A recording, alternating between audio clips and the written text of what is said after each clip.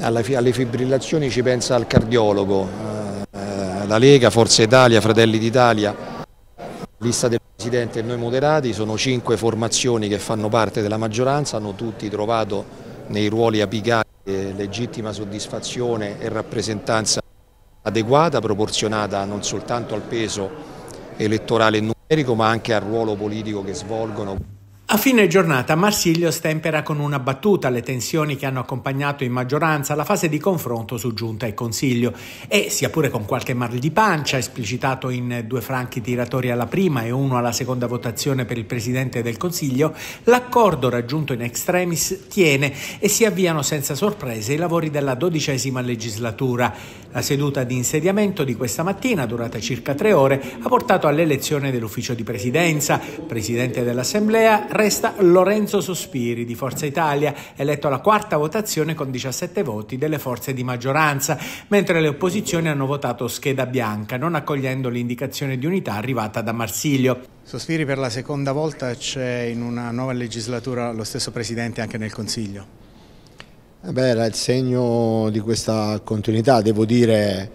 ehm, che avrei potuto ricoprire anche un altro incarico, chiaramente quello da Presidente del Consiglio regionale eh, mi riempie di orgoglio, cercheremo di fare meglio di quello che abbiamo fatto nei cinque anni precedenti e di allargare la partecipazione a tutti i componenti dell'Aula, anche a quelli che sono di opposizione. Eletti con il meccanismo del voto limitato gli altri membri, i vicepresidenti sono Antonio Blasioli del Partito Democratico e Marianna Scoccia di Noi Moderati, i consiglieri segretari Luca De Renzis di Fratelli d'Italia ed Erika Alessandrini del Movimento 5 Stelle. Luciano D'Amico prende il via alla dodicesima legislatura, avete appena concluso una riunione con tutti i componenti della sua coalizione, questo significa che eh, c'è una precisa comunione di intenti nell'articolare l'opposizione a Marsiglio in questi cinque anni? Decisamente sì, c'è una compattezza del patto per l'Abruzzo,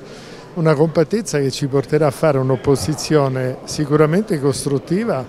ma anche severamente vigilante su tutte le proposte che verranno dai banchi del governo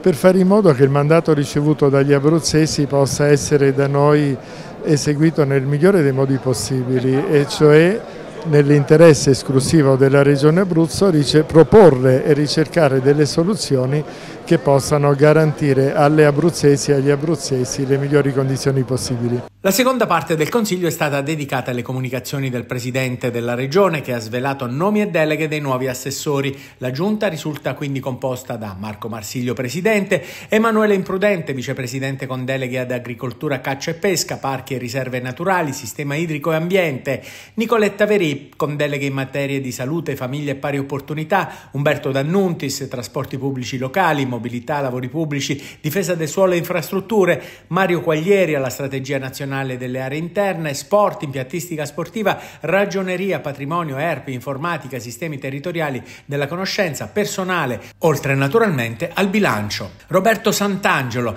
sarà assessore alla formazione professionale, istruzione, ricerca e università, politiche sociali, enti locali e polizia locale, edilizia scolastica, beni e attività culturali e di spettacolo. Tiziana Magnacca alle attività produttive, industria, commercio, artigianato, ricerca industriale e lavoro. Resta il turismo che sarà la delega assegnata al sottosegretario alla presidenza Daniele Damario di Forza Italia.